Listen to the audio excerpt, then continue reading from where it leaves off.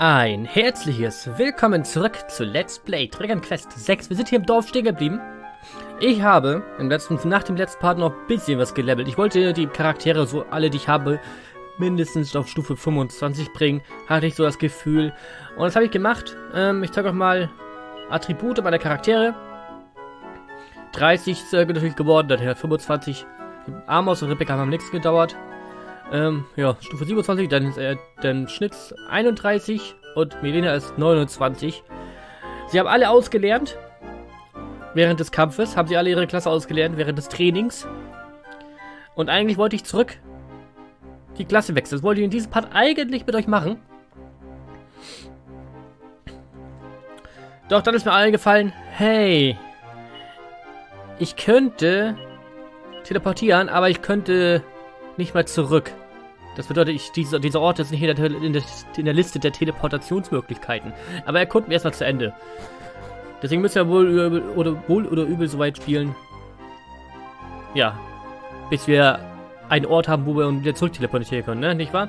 Und ich habe Geld gefarmt. Also ich habe, also ich wollte mir die Spiegelschilde kaufen, die für 5000 pro Stück. Kann ich mir zwar immer noch nicht 5 kaufen, aber immerhin komme ich schon nah dran an, an 4 Stück oder so. Naja, ich bin gelangweilt. Will mal jemand mit mir das spielen? Egal wer. Selbst Bremst Wieland. Darf ich durch? Da hinten sind Krüge. Danke. Mit einer Mini-Medaille. Da könnte ich mir auch vielleicht nochmal die nächste abholen, nicht wahr? Oder war das erst mit 25? Beim letzten Mal hat mir 16 abgegeben. Zwei oder so haben wir schon gefunden. Glaube ich, seitdem. Naja, weiß ich nicht. Also das ist es, was ich einen Prinzen nenne. Seine Eltern werden krank, also macht er sich tapfer auf die Suche nach einem Heilmittel. Der Prinz von Somnia ist in der Tat ein Prinz, welcher den Namen verdient hat. Und was haben wir vorzuweisen? Wieland den Weichling. Ich weiß nicht, wie König Wieland es mit ihm aushält. Wie wohl. Wie wohl, nicht Wieland. Wer König werden will im Königreich Wieburg, muss sich zuerst den royalen Ritus der Reinigung unterziehen. Die Frage ist nur, ob unser Prinz Wieland das tatsächlich hinbekommt. Dann werden wir ja sehen, ne? Erinnert natürlich sehr stark an Dragon Quest 8. Aber die verwursten halt Ideen immer wieder, ne? Jetzt zeige ich mal die Karte hier. Da war ich noch auch noch nicht drinne. Alles klar, Herd. Diese Rüben werden ein anständiges Sümmchen erzielen drüben in Viborg. Das werden sie. Wo ist Viborg, sagt ihr? Geht von hier aus Richtung Westen. Und das wird genau, genau vor eurer Nase liegen. Ja. Ein Krug. Es war ein Krug. Wollt ihr mal eine richtige Leidensgeschichte hören, ne? Aber sicher wollt ihr das. Also, früher war ich Wache drüben in Weberock und äh, dann bin ich rausgeflogen, weil dieser Prinz Wieland keine Ruhe gegeben hat. Ich würde ja mehr erzählen, aber dann kämen mir die Tränen. So schlimm? Ja, und dann haben wir hier oben noch, noch die Kirche eingelassen im Felsen. Wann immer ich mein Gesicht ins Wasser gespiegelt sehe, sehe ich die Spuren, welche die Jahre hinterlassen haben. Aber es ist sinnlos, irgendwas zu erbräuen jetzt. Oder nicht? Ja. Und das ist ja natürlich die übliche Kirche hier. Ja, ein Bauer hat niemals Feierabend. Aber wenn ich hierher komme, fühle ich mich, als ob Herz und Seele gereinigt würde, würden. Aber es heißt, diese Höhle sei nichts vergleichbar mit dem hochheiligen Hohl, wo der royale Ritus der Reinigung stattfindet. Der Zutritt ist allerdings nur königlichen Volkes statt, das ist er. Also muss ich mich in dieser Höhle begnügen.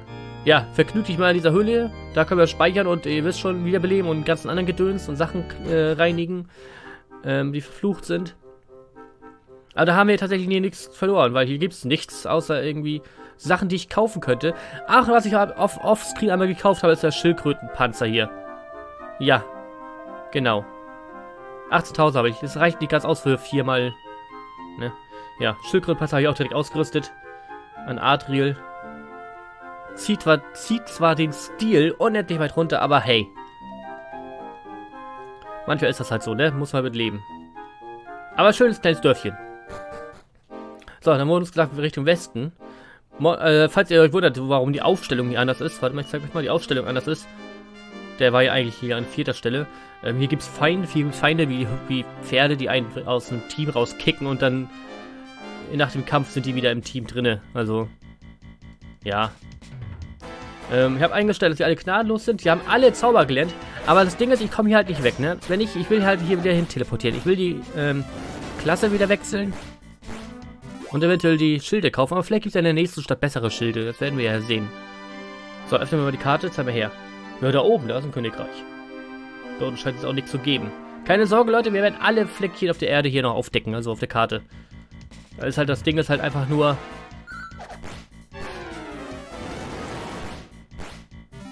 Dass ich das gerne am Ende schiebe. Wie in jedem Dragon Quest, ne? Ich werde noch, werd noch die ganze Karte aufdecken. Die Minimap, Map, Map. Guten Tag. Willkommen in Viborg. Viborg? Wie bitte? Im Viborg, okay. Haben wir eine Karte hier? Nein, wir haben keine Karte. Ihr seht aus, als wüsstet ihr euch zu wehren. Gewiss habt ihr euch bereits das eine oder andere Handgemenge mit Monstern geliefert. Es für mich eine außerordentliche Ehre, an eurer Seite zu kämpfen und ich kann spüren, dass mein schlabberiges Ross das gleiche fühlt. Was? Wie, du hast schlabberiges Spiel. Du hast, hast du ein schlabberiges Ross? Habe ich es gerade richtig gelesen? Wenn ihr mir herausfinden möchtet, wäre es das Beste, ihr geht und sprecht mit dem König, das wäre es. Du hast ein schlabberiges Ross? Ja? Dein schlabberige, dein schlabberiges Ross. Wieso hast du ein schlabberiges Ross? Hey, was ist mit dir denn los? Hallo? Hey, Prinz Wieland ist der beste Prinz auf der Welt. Er ist niemals zu beschäftigt, um mit mir zu spielen. Ja, aber dass du gut ist als Prinz, der muss halt auch, aber auch Sachen machen, ne? Einmal Gisam, wow. Und eine Mini-Medaille. Schön, dann müssen wir auch mal zurück. Ich habe es dir schon tausendmal gesagt, es ist mir gleich, wer der Vater ist. Du wirst ein Abendessen bekommen, wenn es dir gebe. Äh, oh, ich bitte um Verzeihung, das war unpassend. Ich war sicher, es ist Prinz Wieland, der kommt, um mich wieder zu piesacken. Ah ja, ja, Dränkwes sind ihre Prinzen immer, ne? Die sind immer, immer sehr, ja. Sag mal, wo geht's denn hier, hier hin? Habe ich hier eine Karte? Ich habe keine Karte. Wo bin ich hier? Im Hof? Das ist quasi so ein Hof, ne? Wahrlich bin ich der Einzige, der denkt, dass alles hier ein bisschen zu hart ins, Gericht gegangen wird mit Prinz Wieland. Mir würde es auch nicht besonders gut gefallen, mich in eine feuchte Höhle voller Monster wagen zu müssen. Glaube ich dir. Was haben wir hier, hier denn? Alter, dieses Schloss ist so riesig. Ih, ein Weisheitssamen. Falls ihr jemand einen raschen Abgang machen müsst, falls ihr jemals einen raschen Abgang machen müsst, wird der Tunnel euch aus dem Schloss herausführen. Das wird er. Allerdings benutzt ihn niemand außer Prinz Wieland. Ich darf gar nicht daran denken, wohin er sich das nächste Mal schleichen wird. Ja.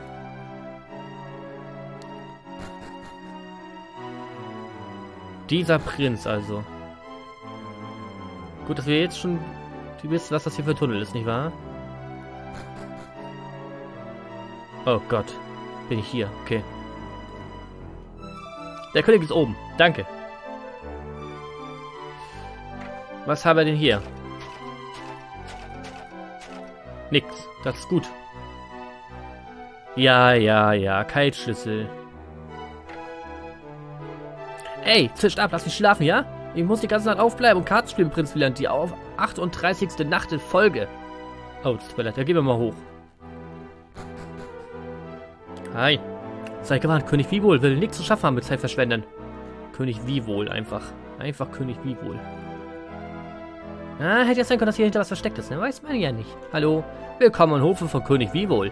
Ich kann sehen, dass ihr weit gereist seid, um hierher zu kommen. Bitte fühlt euch wie zu Hause. Guten Tag. Als Weg fällt euch dieses feine Königreich in Main. Nicht ganz stimmig, was? König Vivol, mein Name, regieren mein Geschäft. Nun, ihr seht aus, als wärt ihr für ein wenig Spannung zu haben. Was sagt ihr? Möchtet ihr mir beibringen? Beispringen in einer etwas heiklen Situation? Klar doch. Gut zu hören, ich, ich wusste, ihr würdet euch dazu bereit erklären.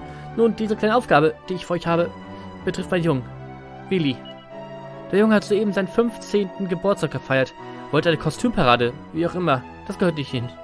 Die Tradition schreibt vor, wenn der Prinz von Wiedburg 15 wird, muss er nach Süden zu einer Höhle namens Hochheiliger Wohl gehen. Dort muss er sich die royalen Ritus der Reinigung unterziehen. Ich tat es zu meiner Zeit, wie ich mein Vater tat und sein Vater vor ihm. Ich verstehe das Prinzip. Nun, ich werde meine Stimme senken, um seine Mutter nicht aufzuregen. Willi ist, so fürchte ich, eine Memme, eine Nulpe und ein Hasenfuß. Ich habe ihn schon mehrfach mit einer Truppe von Wacht zu der Höhle geschickt, aber sie kam immer völlig ungeordnet zurück. Aber ihr macht den Eindruck auf mich, als ob ihr bereits einige Raufereien und Blänkeleien hinter euch gebracht habt, habt ihr nicht? Ich möchte euch bitten, Willi zum hochheiligen Hohl zu begleiten und sicherzustellen, dass er sich den royalen Ritus der Reinigung unterzieht. Was sagt ihr? Werdet ihr mir helfen? Ja. Natürlich werdet ihr mir aus der Patsche helfen. Ich konnte das Glitzern in euren Augen sehen. Kanzler, holt Willi. Jetzt! jawohl, Eure Majestät. Nichts schätze ich mehr als von Abenteuern und Heldentat zu hören. Würdet ihr so nett sein, mir etwas von eurer Suche zu erzählen? Ja, spricht was dagegen? Nö, ne? Jo, klar. Also ihr seid auf einer, also, ihr seid auf einer Selbstfindungsreise und zieht, in jede Ecke der Welt, um Monster zu erschlagen? das kann man so sagen, ja. Ach, das erinnert mich an meine wilde Jugend. Ich weiß nicht, was euer wahres Ich finden bedeutet, aber ich wünsche euer Glück auf eure Suche gleichwohl. Euer Majestät, es schwert die selbst berichtet, dass einmal mehr... Äh, wartet, lass mich raten, mein Sohn Erbe hat das weitergesucht? Jawohl, Eure Majestät, Prinz Wieland hat, wie ihr beliebt zu sagen, das weitergesucht und gefunden. er hätte es auch gesucht, er hätte es auch gefunden, das zweite, ja. Das ganze Schloss auf der Suche nach ihm, das ist es. Dieser Junge bringt mich noch ins Grab. Wie ich meinen Jungen kenne, wird er nicht weit weg sein. Ihr könnt euer letztes Gold darauf verwenden, dass er sich irgendwo im Schloss versteckt. Ihr könntet nicht an Willis kleinen Versteckspiel teilnehmen. Äh, ihr könntet nicht an Willis kleines, kleinen, kleinem Versteckspiel teilnehmen, könntet ihr? Wenn ihr ihn findet, pack ihn, packt ihn am Kragen und bringt ihn her. Ich zähle auf euch. Klar doch. Hallo. Es gibt Leute, die über meinen lieben Mann, kleinen Willi, murren, aber sie müssten nur seine wahre Natur kennen. Er hat ein gutes Herz und wird einen guten König abgeben und ich werde nicht ein einziges Wort des Widerspruchs dulden. Oh Gott, Mütter, ne? Mütter halt einfach. Aber ist das jetzt der Teleportationsort? Weil dann könnte ich mal kurz in die Klasse wechseln. Wieburg, ja, okay. Ja, dann hauen wir hier ab kurz. Ja. Wir wechseln die Klasse. Dann suchen wir wieder nach Teleportation. Einmal alles Neuabtei. Sind wir gerade in der Traumwelt oder echten Welt? Ne, wir sind in der Traumwelt. Nee, das ist die echte. Das ist die echte, glaube ich. Ja. Ähm. Wechseln wir mal die Welt. Ich weiß echt nicht, was, welche Klasse ich wechsel haben will, aber ich will, auf jeden Fall müsste er so am Ende alles gelevelt haben, also bleibt es ist wirklich, wirklich egal. Ja.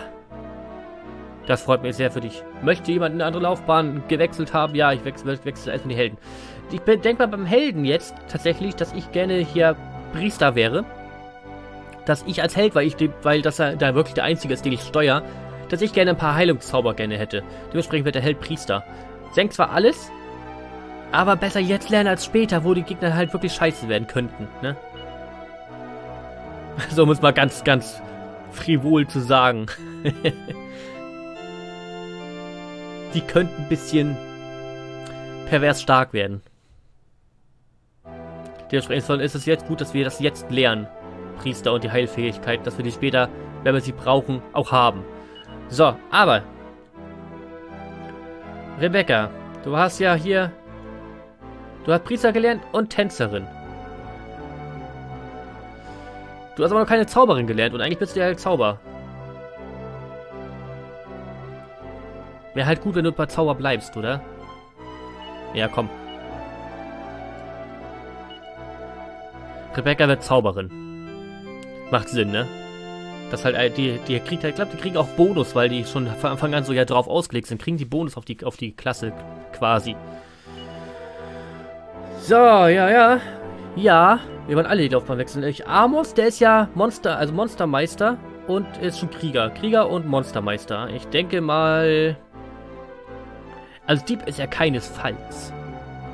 Und Vagabund? Ich weiß es nicht. Wir kriegen, wir kriegen jetzt den, den, den Skill Kampfkünstler, ja. Ja. Der bleibt hier Ritter bis zum Tode. Der wird niemals irgendein, irgendeine Tätigkeit ausüben, wo, er, wo das steht ein Dieb oder so. Nichts Böses. Wobei Monster Tamer, ja, ich weiß nicht. Kann man so und so sehen, ne? Lauf verändern. Ah, Triel. Ah gut, du hast was Neues. Du kannst, du kannst jetzt weiser werden. Weil man halt, das ist halt das, das, das, das der Krux an der Sache. Wenn man halt zwei verschiedene Fähigkeiten lernt, oder mehrere, dann kann man am Ende noch mehr Klassen freischalten. Und das habe ich hiermit gemacht, mit weiser. Ja, er wird weiser.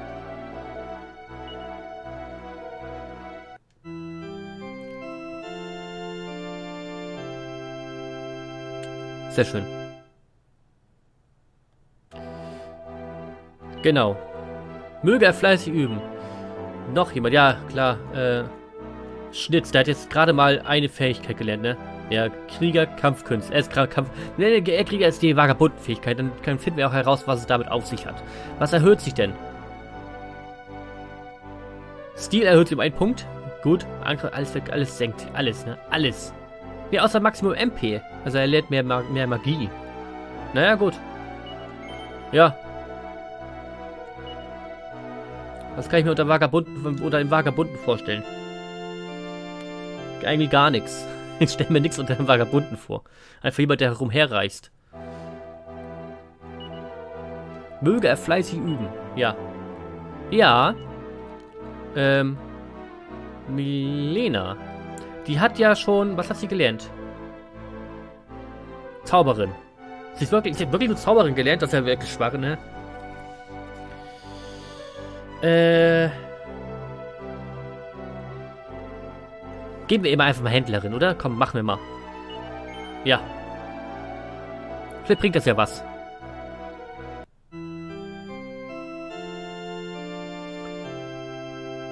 Vielleicht bringt das ja was. Möge sie fleißig üben, ja. so, das war's. Haben wir alle geändert. Ich bin gespannt, ob was für Fähigkeiten wir darauf, damit lernen. Wir gehen jetzt raus, wechseln die Welt und reisen einmal nach Hardware. Ähm, Welt wechseln.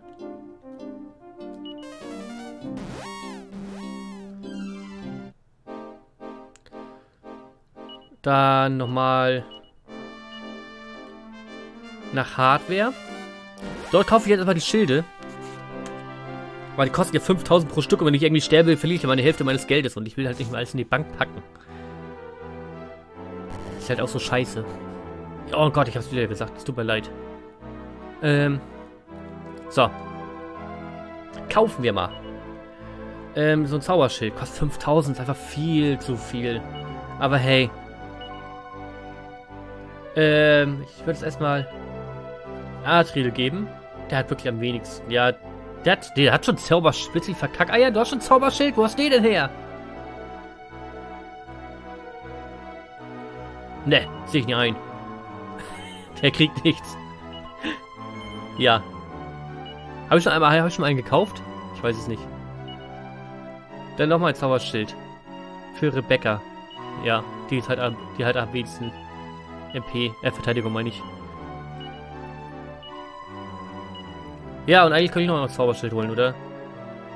Ja, einen, einen können wir uns noch gönnen. Einen können wir uns noch gönnen. Äh, Schnitz, oder? Oder Amos. Amos ist Mod momentan ja bei uns im Team und Schnitz nicht. Da gehen wir den erstmal hier Amos. Keine Sorge, ich werde bald, bald, mal auch wieder wechseln, aber... Also das die Teamaufstellung, aber momentan bin ich gerade ganz zufrieden, auch wenn... Wobei, wobei, warte mal, wir gucken gleich mal. Ich brauche nicht unbedingt zwei Heiler gerade momentan im Team. Also aktuell. Es sei denn, es steht ein Boss da bevor, dann schon, aber Nee, dann kurz mal die Aufstellung ändern. Ich auf jeden Fall. Dann Amos auf jeden Fall noch. Du. Und eigentlich brauchen wir keine zwei Heiler. Ja, sie ist ja... Aktuell brauchen wir es nicht. Ich hole mal noch einen Schnitz. Das macht mir Wumms. Dann ändere ich noch kurz ähm, die Taktik. Wo ist das? Da. Sind alle auf gnadenlos. Okay, sehr schön. Ne, da, und dann hauen wir ab. Dann gehen wir zu Viborg. Dann müssen wir den Prinzen suchen.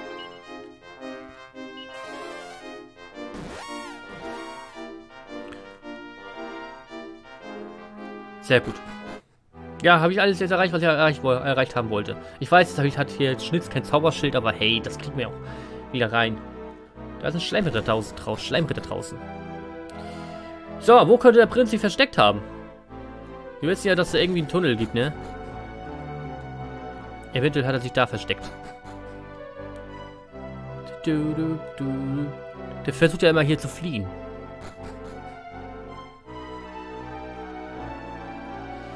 Nö. Hä.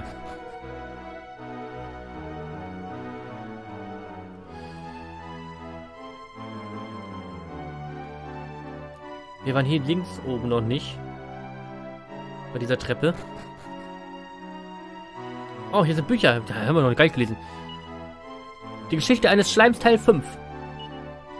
Mein Name ist Schlammpampel. Mein Traum wäre es, wenn mein Name alle, allen Menschen dieser Welt auf der Zunge lege.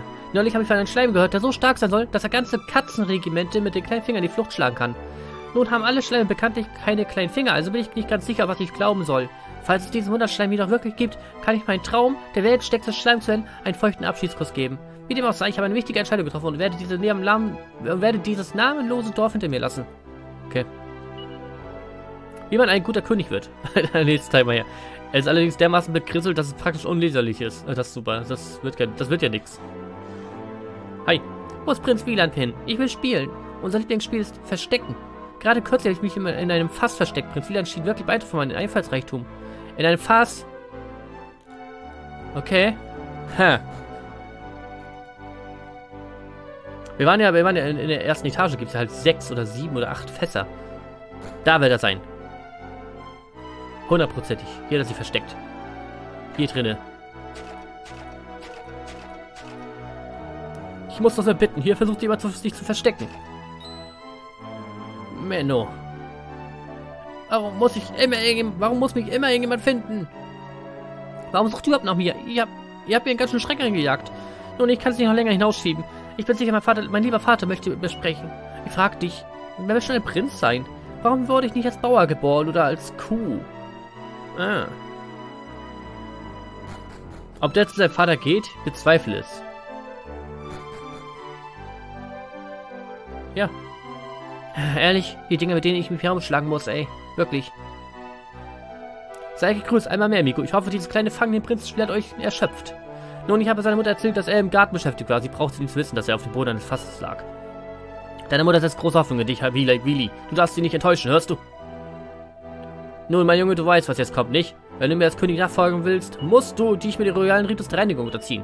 Nun, ich möchte keine Wenns oder Abers hören. Du gehst, darüber gibt es keine Diskussion.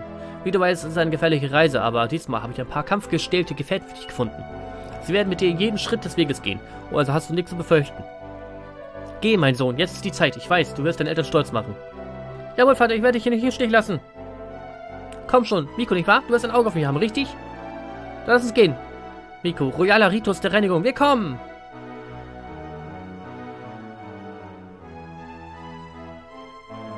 Wir wünschen, wir wünschen euch viel Glück, Prinz Wieland. Lang lebe Prinz Wieland! Yay! Pass gut auf euch auf, Prinz Wieland. Tut alles, was ihr könnt, um den Prinzen zu beschützen, Miku.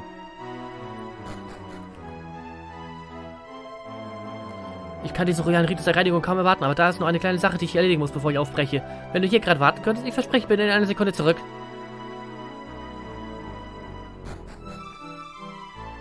Ist klar, Brudi.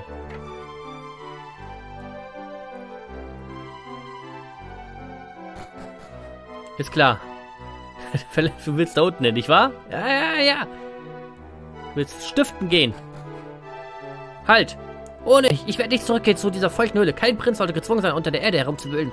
Aber wenn ich mich Ritus nicht unterziehe, werde ich nicht in der Lage sein, meinem Vater Fußstapfen zu treten. Und die, diese Monster, diese monströsen Monster. Du, du hast mich entdeckt einmal mehr. Wahrlich, ich habe keine Hoffnung, die lange zu entkommen, Miku. Ich kann sehen, dass du mich verfolgen wirst, bis, in meine Könige, bis ich meine königliche Pflicht getan habe. Widerstand ist eindeutig zwecklos. Nun gut, du gewinnst. Ich gebe auf. Ich werde mich dir anschließen. Einmal mehr.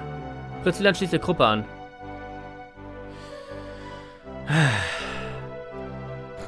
Dieser Prinz einfach. Ja, gut. Wir wissen ja, wir haben schon gehört, wohin wir sollen. In Richtung Süden.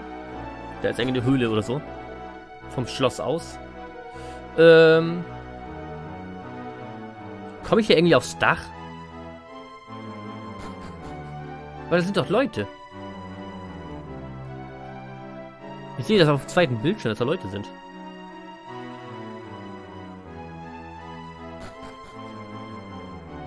Und da außerhalb, da sieht jetzt auch, da ist auch was. Ey, ich bin doch blind, oder? Bin ich blind oder gibt es da keinen Weg hoch? Nur runter. Betten. Draußen auf dem Hof eventuell?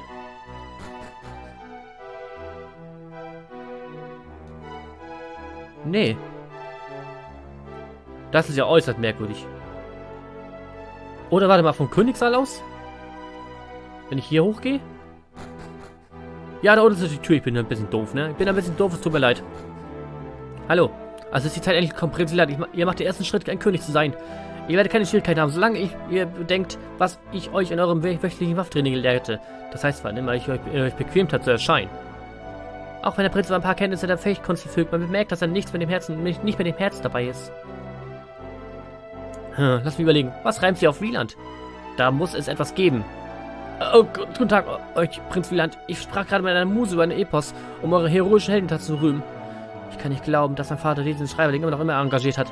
Habt ihr das gesagt, Sir? Ich kann es auch nicht glauben. Was reimt sich auf Wieland? Schreibt es in die Kommentare. Bedauere, Prinz Wieland, egal wie oft ihr mich fragt, fragen wollt, ihr werdet mir nicht eure Rüstungssammlung anschauen kommen. Ehrlich, die Dinge, mit denen ich mich rumschlagen muss, ey, wirklich. Das ist furchtbar. Aber er will die Rüstungssammlung, ja. Nun, ne? Hallo? Bringt ihn zu der Höhle, verprügelt die Monster, bekommt ihn gereinigt, schwuppdiwupp und die Sache ist erledigt. Dann wird er bereit sein, König Reebok zu werden. Ah, ich kann es kaum erwarten. Kannst kaum, du kannst was kaum erwarten. Komm schon, Mann, spuck's aus. Ähm, Prinz Wieland, sowas, dass ihr hier seid, nun versteht mich nicht falsch. Äh, ich meinte, ich könnte, ich kann die wunderbare Weisheit und Wohltätigkeit kaum erwarten, mit der ihr sicherlich die Rolle des Königs ausfüllen würdet. seid gegrüßt, seid gegrüßt, Prinz Wieland. Vieles Glückes bei eurer Aufgabe. Du hast gut reden. Du darfst hier bleiben, das Schloss bewachen. Ich wünschte, ich hätte so eine bequeme Aufgabe. Oh, Alter.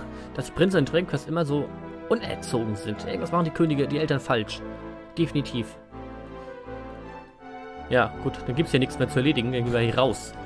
Wir machen es auf Weg in Richtung Süden.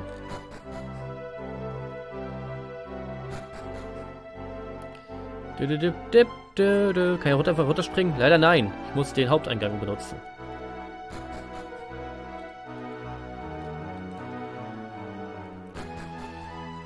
So, wir gehen. Sei gegrüßt, Prinz Wieland. Vieles Glück für eure Aufgabe. Ach, du hast gut reden, du darfst hier. Ja, ja, ja. Es labert nicht mehr dasselbe, ist okay. In Ordnung, was steht jetzt nächstes an? Du weißt ganz genau, was, Adriel. Du weißt es ganz genau. Eine Höhle im Süden. Nur damit du es weißt, Nico. Ich werde, ich werde einige Grundregeln, Grundregeln aufstellen, bevor wir aufbrechen. Ich habe noch niemals das Königreich Viborg verlassen und ich habe keine Absicht damit, jetzt anzufangen. Ich bin einverstanden, mit dir herumzuhängen, solange du hier bist, in Wichheim. Oder natürlich in der Höhle bist.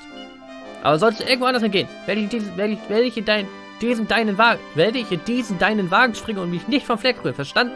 Nachdem das, nachdem das geklärt wäre, denke ich, wir sind bereits im Abmarsch. Komm, Iko, lass uns loslegen.